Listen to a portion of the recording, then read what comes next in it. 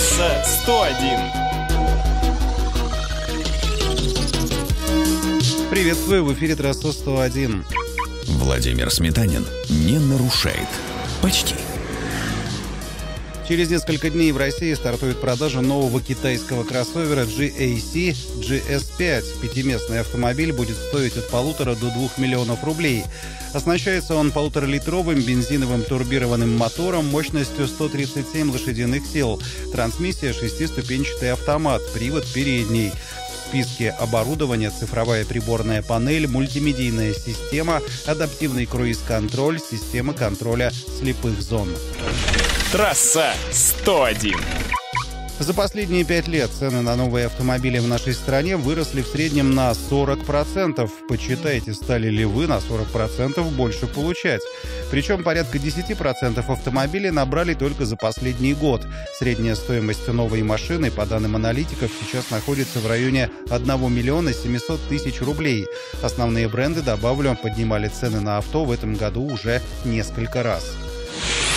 Трасса 101.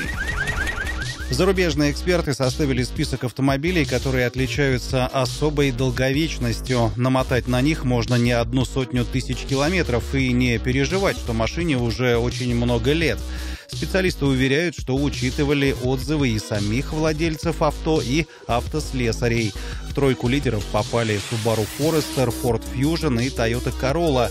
Далее идут Audi TT и Audi A6. Не обошлось в перечне без Toyota RAV4, Honda CR-V и Toyota Camry. Трасса 101. Больше всего на дороге меня раздражают водители, которые едут сзади впритык и моргают фарами. Так ответили почти 80% автомобилистов. Опрос, правда, проводился не в России, а в Германии.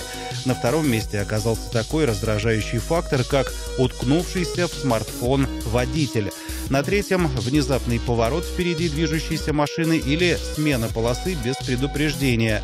Что интересно, впервые в этом году немецкие автовладельцы назвали в качестве серьезной помехи людей на электросамокатах.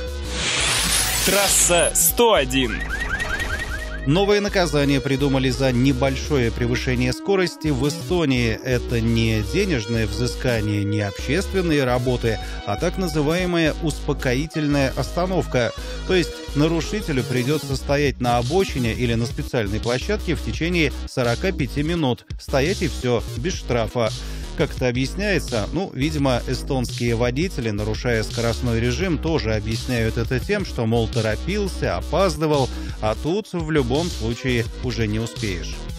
На этом все. Вопросы и комментарии оставляйте на сайте Эхо Кирова. До свидания. Трасса 101.